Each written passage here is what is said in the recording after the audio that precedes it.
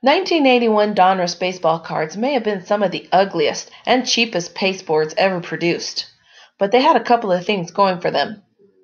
First, they helped usher in a new hobby era along with Fleer, effectively ending Topps monopoly, temporarily at least. And second, they took an unusual approach to an age old problem. Ever since Gutenberg started spinning out baseball cards from his new printing press way back in the 15th century, traded players and rookies have been the bane and eventually the boon of card manufacturers. After all, it's tough to keep up with player movement when Major League Baseball teams are basically free to swap guys at any time, but your cards are pretty much static. Topps is famous for their airbrush jobs and hatless cards over the years, and Canadian counterpart O-Pee-Chee wrote a traded to message right there on the card fronts, along with showing the card design of the player's new team. Topps also addressed the problem head on with traded sets, and Fleer followed suit with update issues.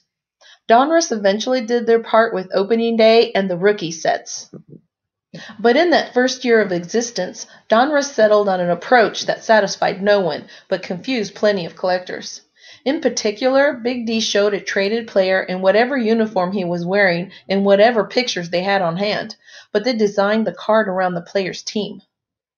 Sort of the O-Pee-Chee approach, but Donruss didn't bother with any traded language, even on the card backs. Well, at least not the first time around. Some of the players did get a traded to bit tacked onto the top of the career highlights on card backs in later press runs. So we're left with Jesus Figueroa in a Chicago Cubs uniform in Wrigley, but with a Giants frame and designation. Both without the traded to tag on the back and with. Similarly, we have the Cliff Johnson's Cubs A's combo, the Bruce Sutter Cubs Cardinals ensemble, the Jerry Martin redux of Figueroa's Cubs Giants getup. The Mike Vail Cubs Reds commemorative edition card. And the Ray Burris Cubs Mets throwback special.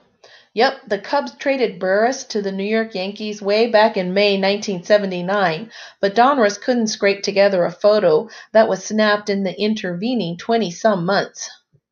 And lest you think this was a Cubs only affliction, we get to see Darrell Porter in an unholy mixture of the Kansas City Royals and the St. Louis Cardinals.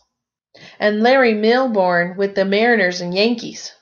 And Willie Norwood with the Twins and the Mariners. And Bob Owchinko with the Indians and the Pirates. And Dave Edwards with the Twins and the Padres. And Dave Roberts with the Rangers and the Astros. And Geoff Zahn with the Twins and the Angels. Did I miss any? I don't think so, but it's possible. These things are everywhere, like dog hairs on a collie owner's corduroys. But hey, at least the 1981 Donruss set is interesting.